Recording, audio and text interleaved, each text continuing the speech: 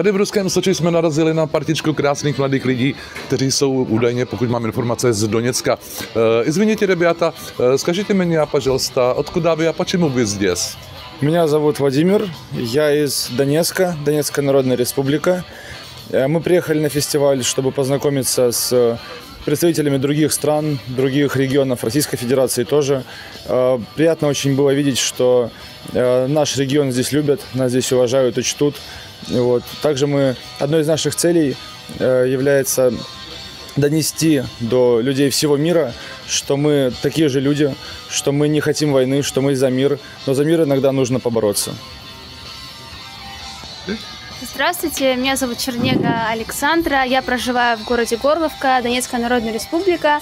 Приехали сюда, чтобы пообщаться с ребятами из других э, регионов, да, с ребятами из других стран.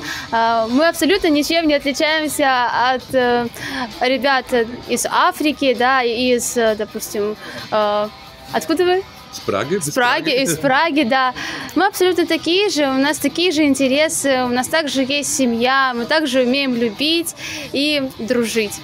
И верим в лучшее, и верим в то, что э, у нас тоже скоро наступит мир.